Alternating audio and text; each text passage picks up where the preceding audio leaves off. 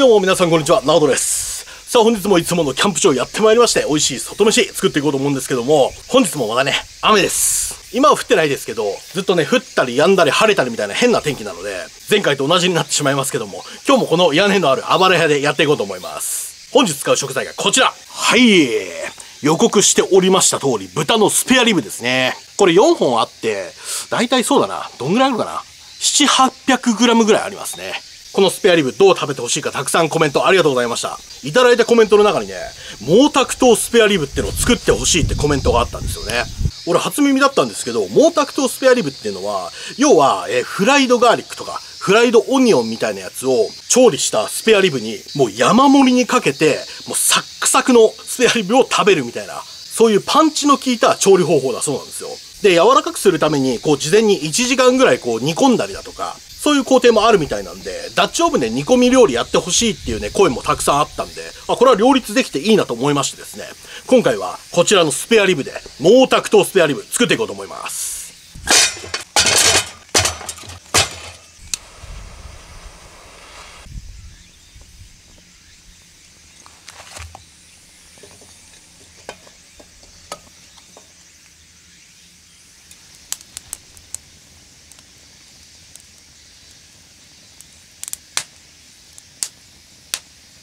込みも長時間になると思うので、炭。では焚き火が落ち着くのを待つ間に、もろもろ準備しちゃいましょう。まずね、長ネギの青い部分。残りは適当に斜め切りと。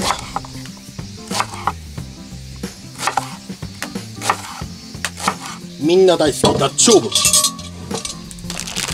スペアリブドーンと、青ネギドーン。そして水。いらないかもしれないけど、ニンニクチップ入れとこう。臭み消し的な。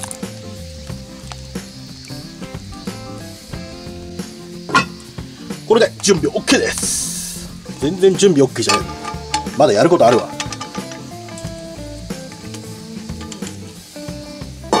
スペアリブにトッピングするやつですね。これフライドガーリックです。ニンニクチップ。あ、違う、これフライドガーリックじゃない。フライドオニオンです。ごめんなさい。それとニンニクチップ。中引き唐辛子。ちょっと香り付けにホアジャオ。さらに干しエビ。あ塩。であとは、えーウスターソースと今日ねこれ持ってきてるんですよ。自作焼肉のタレ。これは火にかけるときに加えます。ごとく。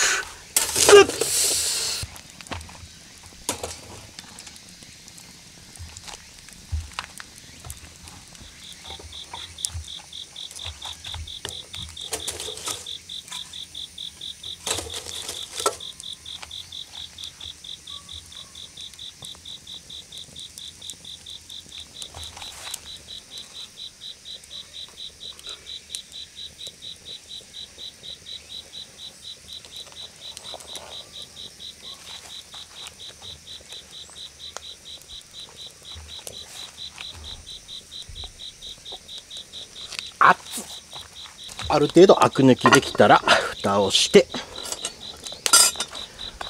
このまま1時間ほど煮込んでいきます。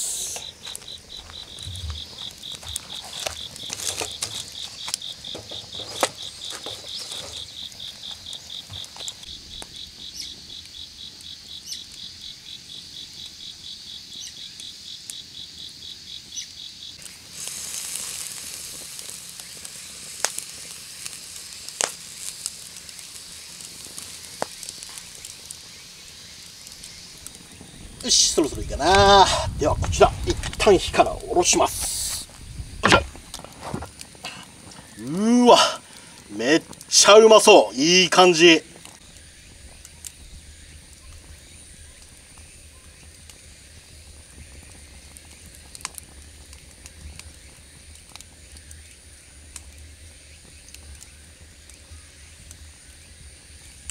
そしたらこちらのスペアリブ。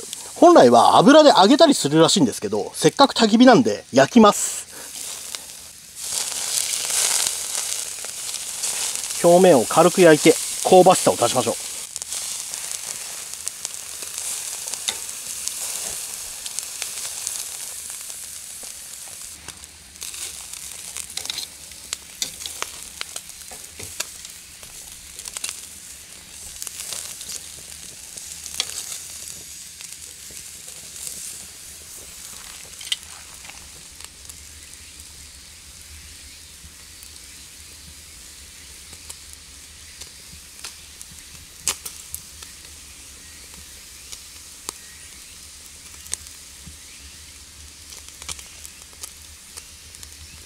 よし。では表面カリッと焼いたところで。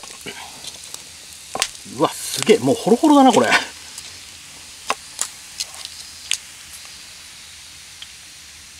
続けてトッピング。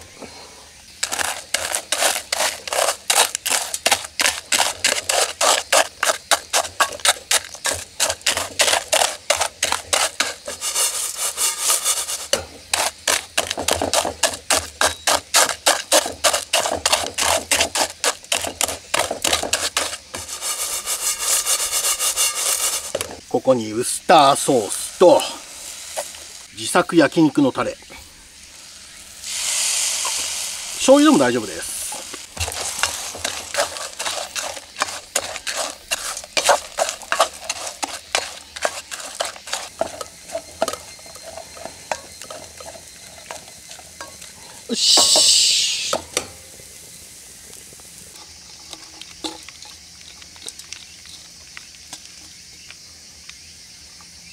そしてこの煮込んだ残り汁。これそのまま捨てちゃうのはもったいないのでこれをベースにしてクッパ的なものを作ります。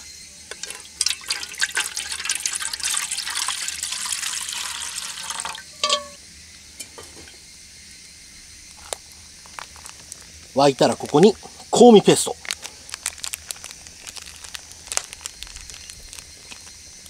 コチュジャン。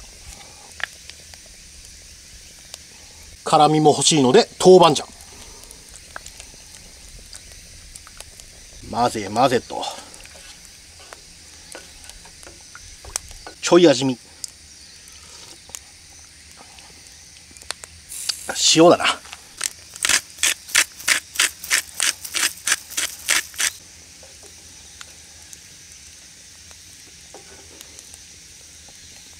うんうまい。そしたらここに山菜。本来ならナムルとか入れるんでしょうけどナムルがなかったんで山菜で代用します。俺山菜好きなんだよね。たっぷり入れよう。具だくさん。いいね。軽く沸いてきたらこちら。今日はねレトルトのご飯使います。さすがに米炊いてる時間がなくてさ。結構ねこのレトルトのご飯ってあの温めずにそのまんまこういうねなんていうの？煮込み系？みたいなねご飯に使うと結構この米がつゆ吸い込んでくれて美味しいんですよ。あっちあっちめっちゃ跳ねた。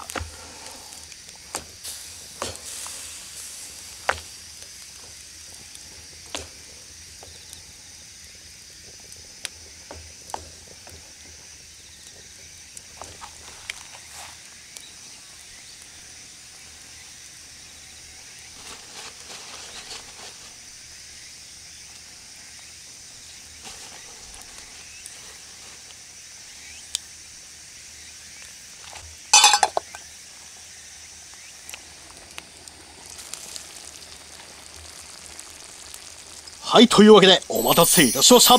毛沢東スペアリブと、クッパ的なやつです。いや、なかなか時間かかりましたね。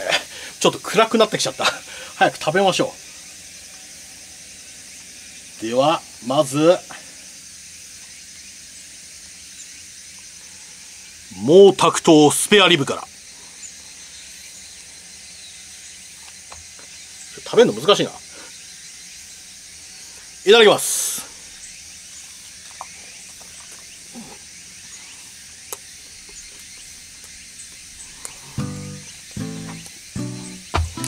まっ。一口食べたらトッピングのやつ全部落ちたわ。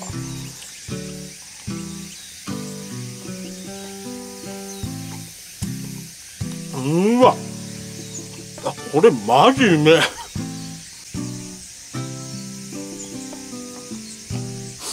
肉ホロホロだしこのトッピングのやつすっげえパンチ効いててうまい。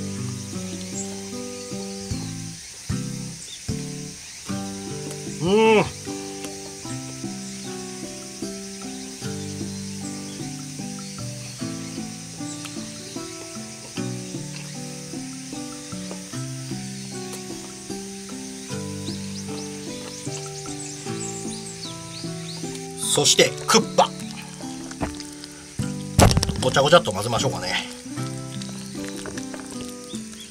ああもうちょっとご飯のとろみが出ていいね。うまそう。あっち。ちょっと熱くて持てないんだね。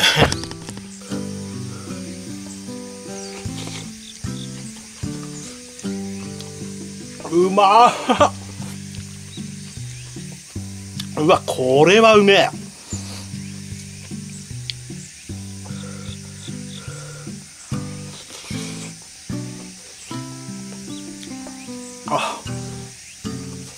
めちゃくちゃ豚の出汁出てるわ。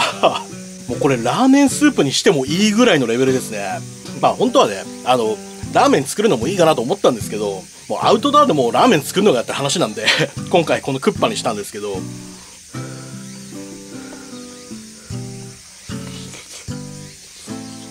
うわうまい。マジでうまい。大正解クッパ。うん。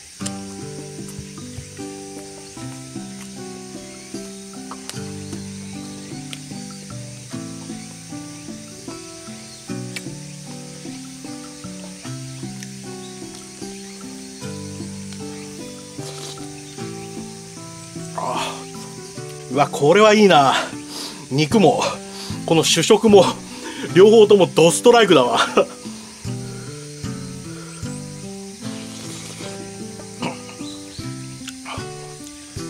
山菜もうまっ。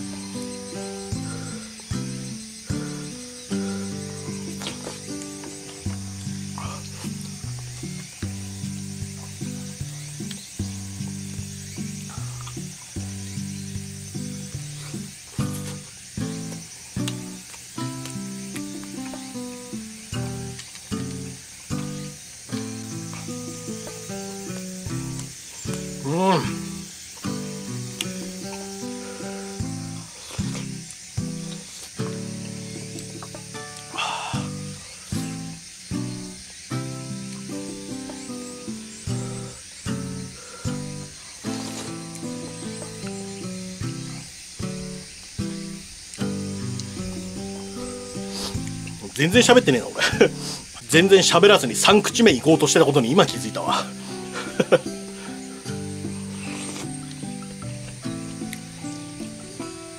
しかし毛沢東スペアリブの毛沢東ってあの毛沢東なんですかね。そもそも毛沢東って読み方が違うのかな。ごめんなさいちょっとそこわかんないんですけど毛沢東ってあのなんか悪名高いというか暴君。まあ暴君はちょっと違うかな。あのなんか歴史的に有名な毛沢東ですよね。なんだろう。それだけパンチ効いてますよってことなのかな。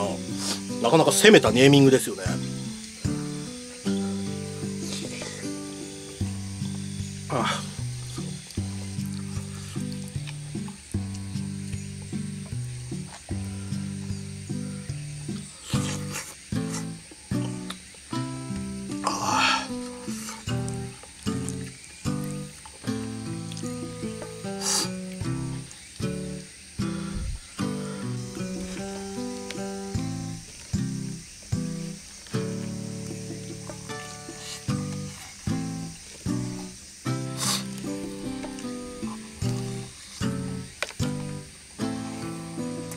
ペアリブ全部いっちゃった。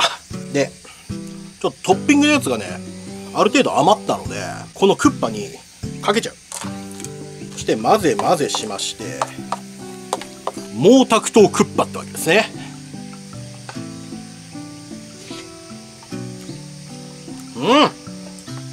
うん。うわすっげえパンチ効いた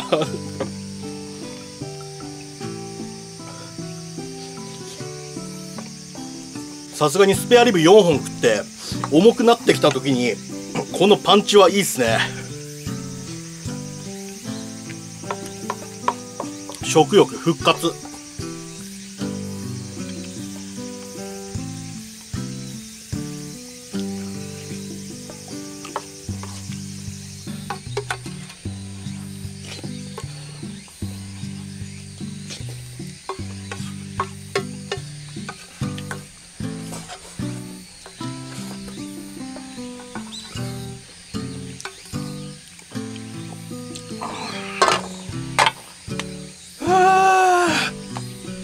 そうさまでした。うやーべマジでうまかった。これ最高だね。うん。口の周りがピリピリする。今回初めて知って初めて作りましたけどもこれめちゃめちゃうまいですね。辛いもの好きパンチのある味が好きっていう方はねこれ絶対美味しいって言うと思う。これぜひお試しください。マジでめちゃめちゃうまいよ。やっぱスペアリブをね事前に1時間ぐらい煮込んだのが効いてますね。どうしてもあのスペアリブって骨周りの肉だから結構硬かったりするんですよ。硬かったり筋が多かったりするんですけどもう全然かぶりついたらもうそのまんま歯が通っていくぐらい柔らかかったし骨周りもこうスルッと取れて全然無駄なく食べられるしめちゃくちゃ美味しくていいと思います。さあというわけで、えー、がっつりね美味しいもの食べてスタミナつけたところで片付けて帰りましょうかね。本当はこのままキャンプとシャレ込みたいところなんですけどももういつ雨降ってくるかわからない状況なんでね。まだちょっと雨キャンプのね道具が揃いきってないのでいつかね揃い次第雨キャンプもやろうと思います。雨音を BGM にねゆっくりお酒なんか飲もうと思っておりますんでお楽しみにしててください。それでは次回野外料理で使う食材がこちらです。はいこちら。牛バラ肉です。牛のバラカルビはよく食べてましたけどもこの牛バラブロックってそういや食べてないなと思って今回購入してきました。このでっかい牛バラブロックどう食べてほしいかたくさんコメントお待ちしております。では今回もご視聴ありがとうございました。また会いましょう。